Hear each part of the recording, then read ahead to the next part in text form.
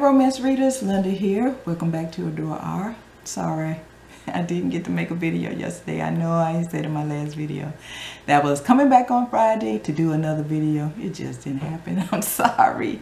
So i said i was going to do it today and i just was cleaning up my room and cleaning up the house and i just got behind now making this video late late late at night. So and they're going to be late when i post it so here I am with a video. I said, I got to get this video out. So, and uh, probably this week, I probably won't be doing a video. I probably have to do it the week after after this week. Um, so I will be coming back to do two videos to make up for this week. Because I don't think I'm going to get to post a video. So I'm letting you know earlier, I probably won't be posting a video this week. So I had to get this one in right quick. So let's get started. I have six books here I want to share with you. And like I mentioned in my other video that they're going to be older books because I haven't read anything um, lately.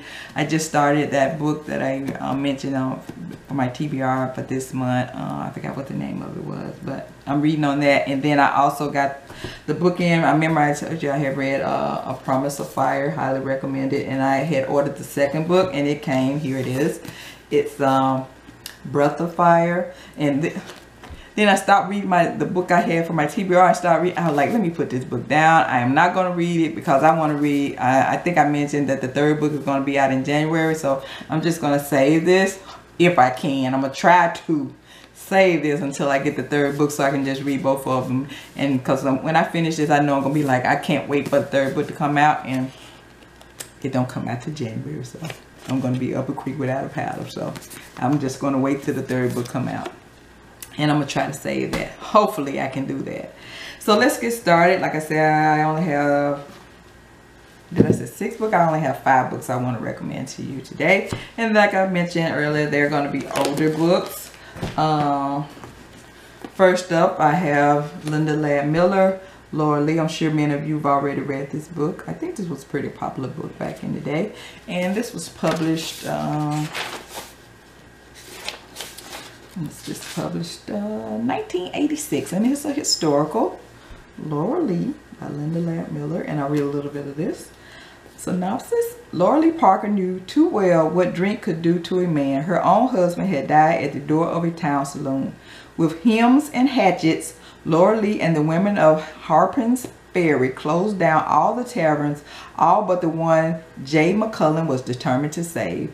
After his brother, a saloon keeper, was found brutally slain, Jay had come to town ready to accuse Lauralee, only to be cap captivated by her winsome beauty. The proud, powerful man melted Lauralee's defiant, defiant heart with the aching hunger of his love and with the sweet, urgent ecstasy they shared. So that's Lauralee by Linda Lael Miller. If you haven't tried this, check it out. I know it's an older book, so maybe you can find it at a, a used bookstore or on uh, Amazon or eBay. Hopefully you can. Hopefully they don't want too much for it.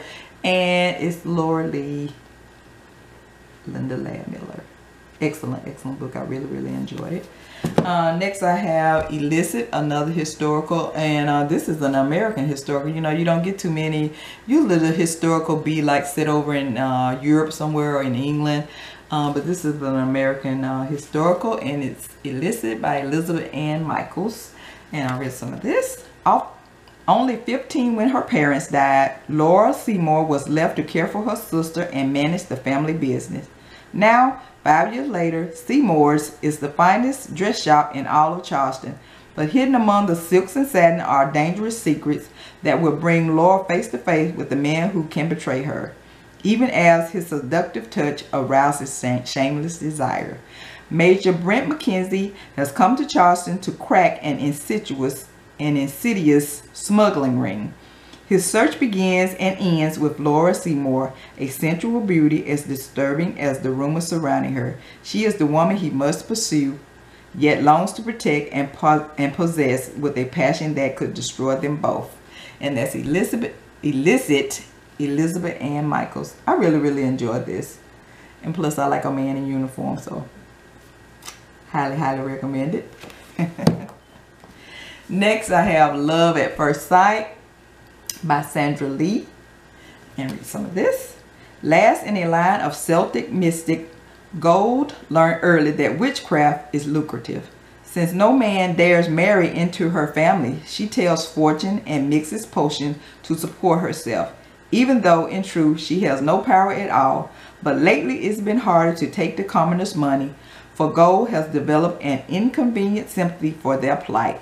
Fortunately, the rich, arrogant Baron of Skivik, or Skivik, or however you pronounce that, is a different story. Suddenly struck blind, he will surely grant an ample reward for a remedy. And she won't mind taking him for all he's worth. Now all she has to do is fake a cure and be gone before he realizes her, her rules. I really enjoyed this one. Love at First Sight, Sandra Lee. Have any of you read that? If you have, did you like it? I really, really enjoyed it. Uh, next up, I have Linda Howard. Excellent, excellent writer. Heart of Fire. Oh, let me tell you, did I tell you when this was published? I'm sorry. Let me go back. Let me go back. Rewind. Um, Love at First Sight was published in 1999 and Illicit was published in 1995.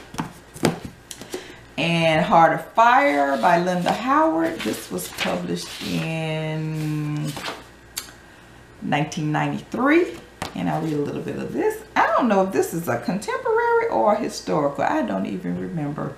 But I, I remember some scenes from him, but I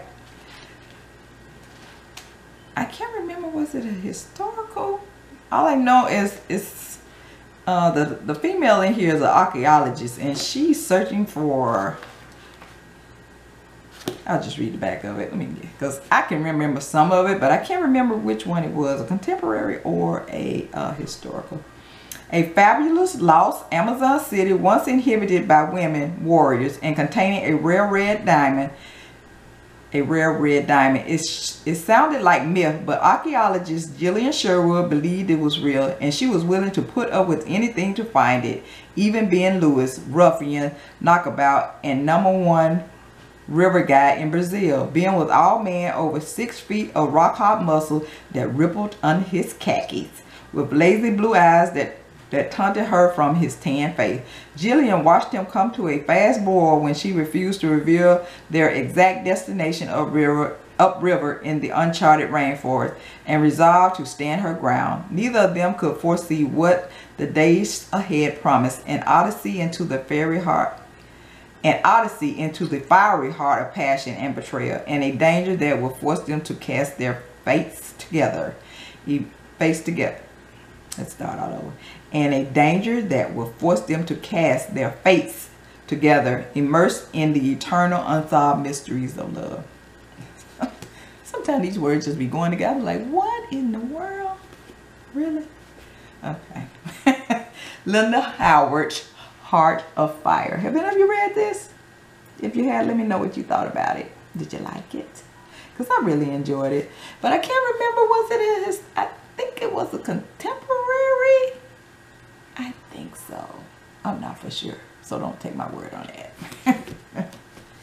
Next, I know this is contemporary. This is a romantic suspense. Virginia Kantra, Close Up.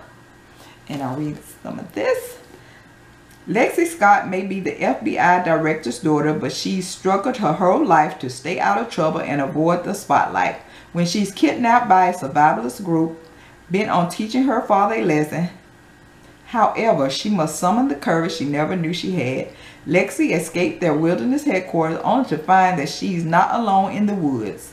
Suspended cop Jack Miller came to North Carolina to rescue his sister from her abusive marriage to the survivalist charismatic leader, charismatic leader.